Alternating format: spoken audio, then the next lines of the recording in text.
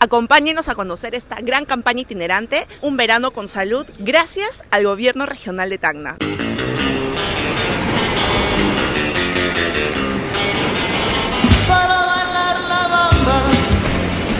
En el marco de las políticas establecidas por nuestro gobernador regional, eh, don Luis Torres Robledo, eh, que es priorizar la salud y la educación y la articulación con las municipalidades. Es una campaña de atención integral preventivo promocional acá en el balneario de la Boca del Río, con especialidades de psicología, neurología, eh, pediatría, ginecología, tenemos en prevención, tenemos el lavado de manos, lo que es la vacunación también. En primer lugar, agradecer al presidente regional por haber tenido la idea, la gentileza de traernos acá a médicos para que nos vean nuestra salud.